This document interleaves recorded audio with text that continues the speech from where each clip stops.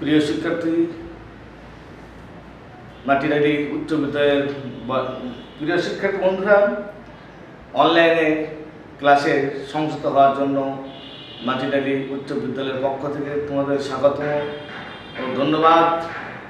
আজকে আমরা আলোচনা করব বিষয় হলো ইসলাম ও নৈতিক শিক্ষা, শ্রেণি সপ্তম। পাঠ শিরোনাম হলো প্রথম অধ্যায়ের পাঠ তিন। কুফর। শিক্ষকের নাম আমি মৌলানা মোহাম্মদ সাইদুর রহমান। আজকে আলোচনা করব একটি সৃজনশীল নিয়ে, উদ্দীপক নিয়ে আলোচনা করব। যেমন দেখো, এখানে আছে মোহিত সাহেব মদ ও জুয়াকে হালাল মনে করেন। তার বন্ধু তাকে মদ ও জুয়ার কুফর ব্যাখ্যা করে তিনি পরিশুদ্ধ হওয়ার আশ্বাস দেন। এ প্রসঙ্গে আল্লাহ বলেন, যারা কুফরি করে এবং আমার নিদর্শনগুলোকে মিথ্যা প্রতিপন্ন করে তারা জাহান নামের অধিবাসী। তে আসল আমরা এই উদ্দীপকের আলোকে কয়েকটি প্রশ্ন আলোকপাত করি। যেমন ক নম্বর কুফর শব্দটি কোন শব্দের বিপরীত এবং ইহার অর্থ কি? কুফর শব্দটি ইমানের, ইমান শব্দের বিপরীত। ইমানের বিপরীত হলো কুফর। আর কুফর শব্দের অর্থ হলো, কুফর শব্দের অর্থ অবিশ্বাস করা, ঢেকে রাখা, গোপন করা ইত্যাদি। ইসলামের পরিভাষায় আল্লাহ তালা ও ইসলামের মৌলিক বিষয়গুলিকে অস্বীকার করাকেই কুফর বলে।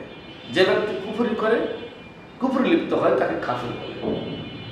শিরিকের দুইটি প্রকার বুঝিয়ে লেখো।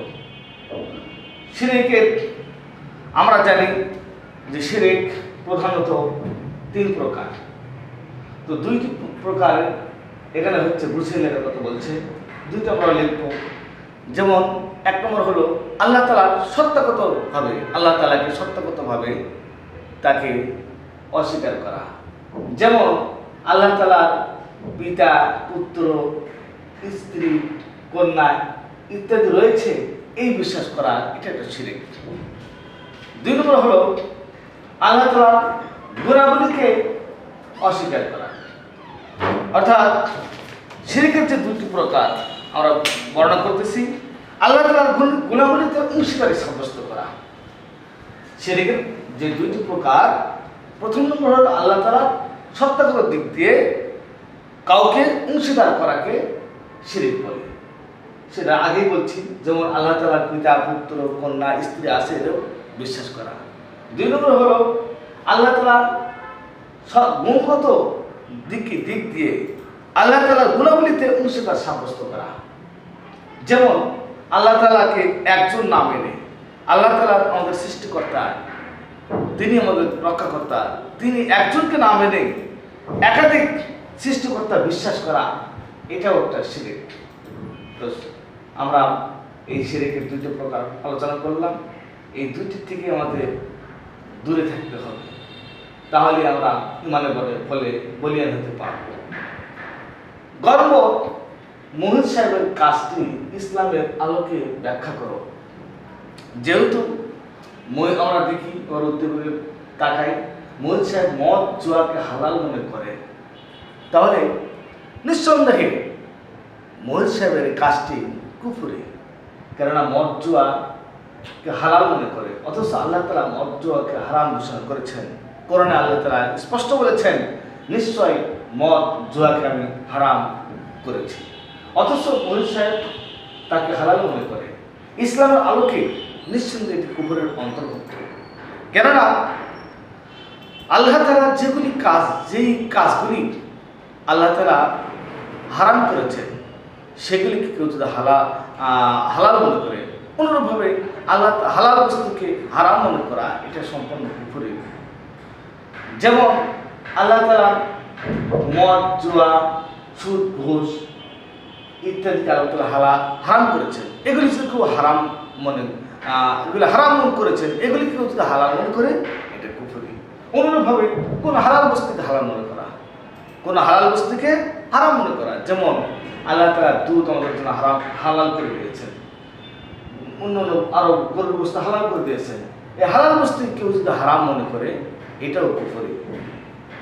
অনুরূপভাবে যে আল্লাহ তালাকে অস্বীকার করা, ইসলামের মৌলিক বিষয়কেও অস্বীকার করা, যেমন যেমন ইসলামের মৌলিক বিষয়কে অস্বীকার করা, যেমন আল্লাহ রসুল, নবী, এরকমভাবে জান্নাত, জাহান্নাম, আখরাত, তাকদির ইত্যাদিকে যদি কেউ অস্বীকার করে, এটাও এটা ইত্যাদি অবিশ্বাস করাও কুফরি।